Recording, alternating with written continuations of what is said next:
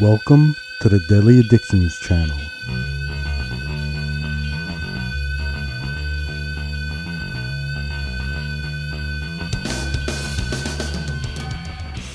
Hello, everyone. I'm going to be talking about a movie called The Outlaw Josey Wales. I am a big fan of westerns ever since I was a kid.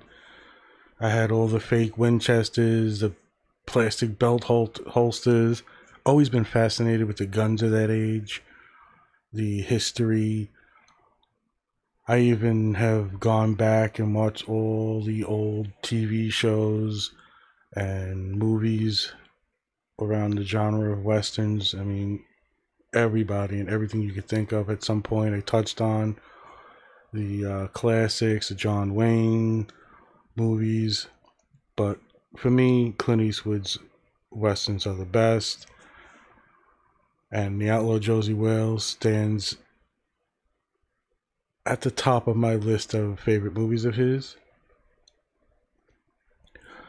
If it wasn't jumping around the couches with the fake Winchester and the guns playing make believe, cowboys and Indians, I was mesmerized watching on TV the old black and whites, going through my youth, uh, finding little gems here and there, some great TV shows, and Clint Eastwood actually was in a old TV show back in the day. Uh, I think it's Rawhide. So it was, I think it was released in 1976. It was directed and starring starred by Clint Eastwood. I don't know if it was one of his first. It was adapted from a book, uh, an author, Forrest Carter's The Rebel Outlaw Josey Wales. And it was republished as Gone to Texas. Apparently, the movie did well. I don't know if I came across a low budget sequel. I don't know. I don't know how long ago it was. It was pretty bad. Although it stars a great actor, Michael Parks. The Outlaw Josey Wales has everything for me. It has such a depth of character, the tone.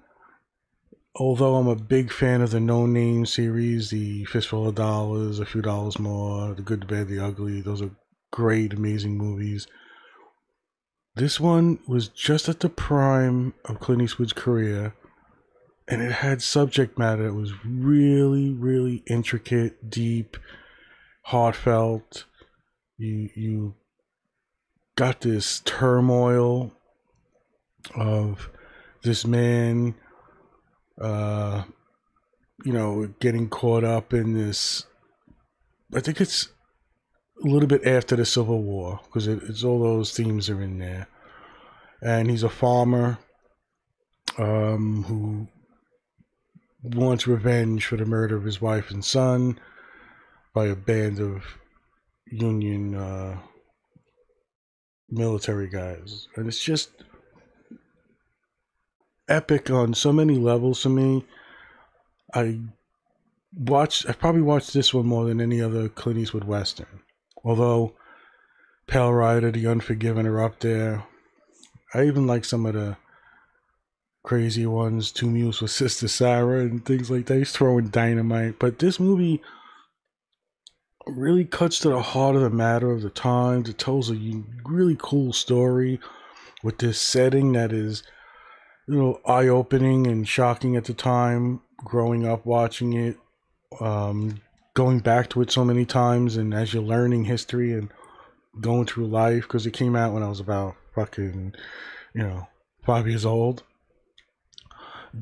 Watching it more and more and going through life and seeing the connections, and it was done differently. Uh, there's some great scenes with the actors and actresses. Chemistry is great. I think uh, he went on to marry Sondra Locke, who starred in it. But you got Chief Dan George, Sam Bottoms, Geraldine Kearns. I think there's a unique time where the right people are in the right spot they get these actors and actresses and it, they make it work.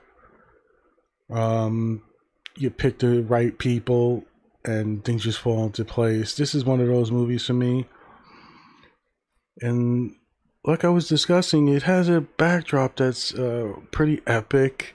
You don't see it much. The communication with the Native Americans is unique. There's a moment in this film that stands out and gives me chills. It makes the hands hair stand up on my arms. And it's when he's negotiating with the local uh, Native American tribe. And it's just a no nonsense, bare bones, deep, raw conversation that is just epic. And the character he plays throughout it, you see it building up the the loss, the um the grief and the terror of what's going on, his determination. He's just an amazing force of nature. I almost like to think of it as the prequel to Unforgiven because you could see he tries the life again. So to me, in the Unforgiven, he's he's trying it again. He's getting another wife and a family, and you know, the wife is dies of an illness. He's got kids to feed, and here comes a bounty. You know, and Joseph Wales has to go at it again. I've described in some of my podcasts creating or adapting the second edition Dungeons and Dragons rules to make a gunslinger campaign. And I did a lot of research for that. I fashioned my character after Josey Wales. Uh, I set it in a time of, uh, you know, the just amalgamation. There's just some uh, you gotta play loosely with the rules when you're making a campaign, but for the element of the guns, the bullets, the caliber weapons, what would be the attributes and skills you would have in certain classes like gunslinger, soldier, bandit.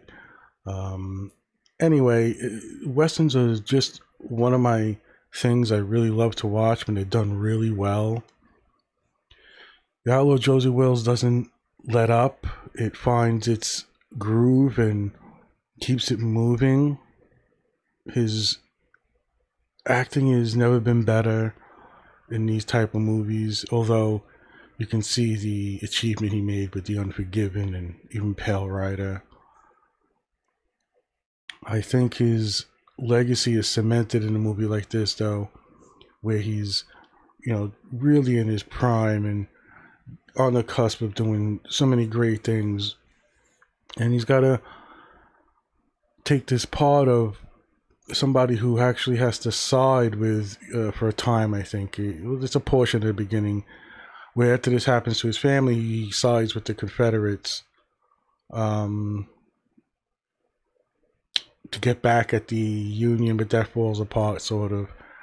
And he you know, the movie kind of grounds him in finding a, a woman and a family or people in need. And then he decides that he's going to risk it in a sense for these people.